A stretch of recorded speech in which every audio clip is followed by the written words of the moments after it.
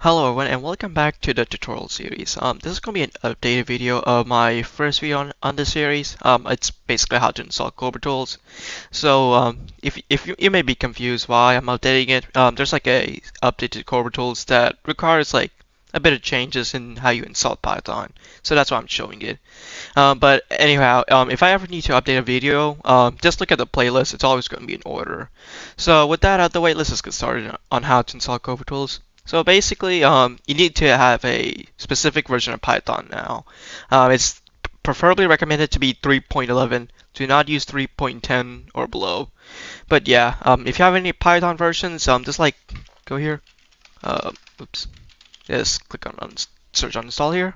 And if you just type in Python like here, I did it before, I might just show up like at 3.10 or so. And yeah, and you just click here and uninstall.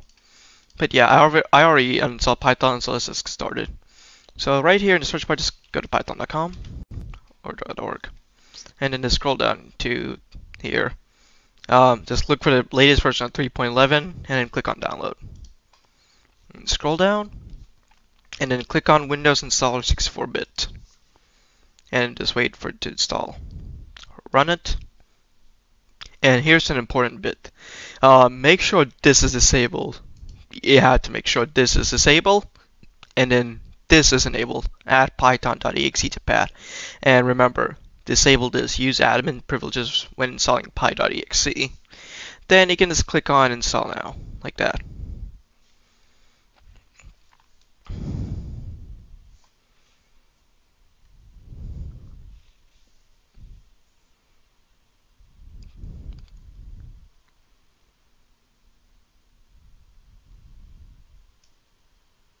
Okay, um, whilst that's installing, um, let's go to the site.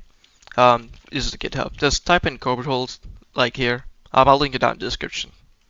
Then just click on code and download zip.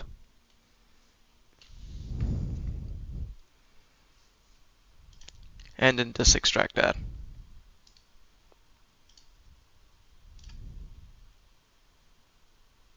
And then open this up, click on that, then you just click on the OVL tool.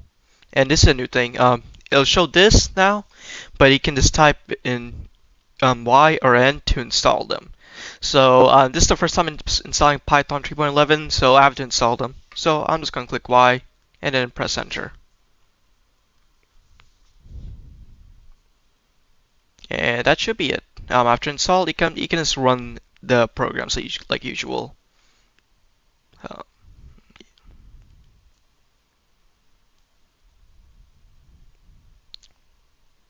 And yeah, um, it just ran like that. It's like smoothly. Um, that's about it. Um, like again, if any part of the tutorial series needs updating, um, just always look at the playlist. Um, they'll always be in order. Um, like, um, the most important stuff at first and all. Uh, but you get the point. But yeah, um, that's about it. See you guys later.